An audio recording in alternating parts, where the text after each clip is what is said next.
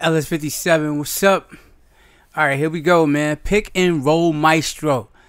This badge right here is a very, very, very important badge because it can help you in several different ways on the court.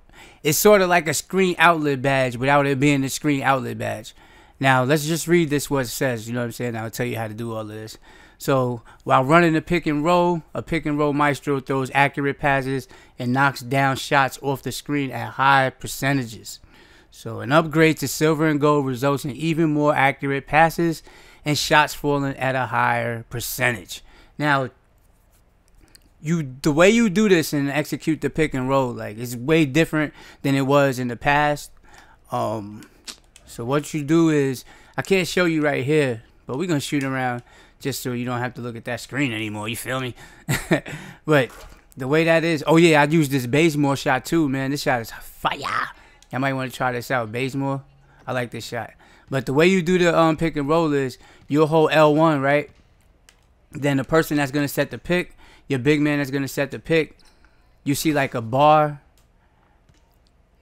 So on the side of you see a line and at the end is a bar that's on vertical, right? So what you would do is you hit the um the R the R2 button while you holding the L the L um the L1 and when you do that it is it gives you the option on which side so if you want to have it set on the left you'll set the pick on the left if you want to have this set on the right you'll set the pick on the right you know so I'm gonna have a tip video for that too as well um after this because there's a way you could do it where you playing Hall of Fame you have your defender always beating the pick and roll like everybody got pick dodger, but there's a way you could do it to set them up where it'll be more effective. You know what I'm saying?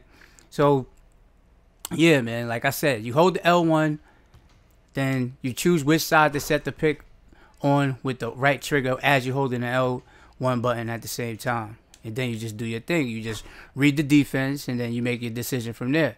But that's a that's a good, good, good, good, good, good, good, good um how do you say it? Badge to have.